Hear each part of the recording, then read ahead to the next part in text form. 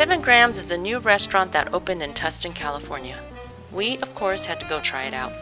They had a lot of usual items you would find in a Taiwanese restaurant, so we decided to order a variety to try it out.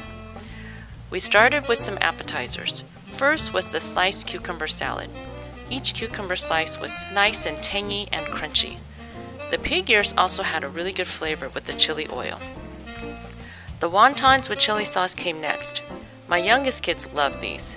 And let's be real, what kid doesn't like a good dumpling?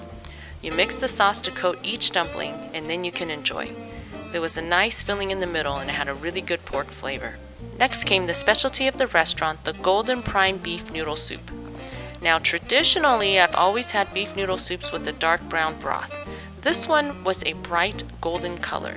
This broth was amazing. It still tasted rich, like a meat broth, but it didn't have the traditional star anise or soy sauce flavor profiles.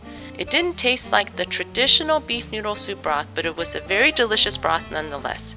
It had a slightly sour taste, and I believe that was from the pickled vegetables. It was also pretty spicy, even though it may not look like it from the video. I loved it. It was unlike any other broth I've had before with beef noodle soup. Next up was the xiaolongbao, also known as soup dumplings. These were on par with the ones from Din Tai Fung if you're familiar with that famous restaurant chain.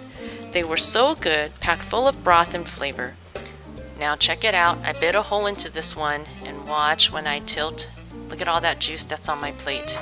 That is a juicy dumpling. I couldn't decide on a favorite because all the varieties we tried were so good. Now in case you missed it the first time, here's another replay. Look at all that hot broth coming out of that juicy soup dumpling. It was so delicious. We also tried their beef roll, which was really tasty. They were generous with the beef slices and the other vegetable fillings on the inside. Everything here was super delicious and I definitely recommend it.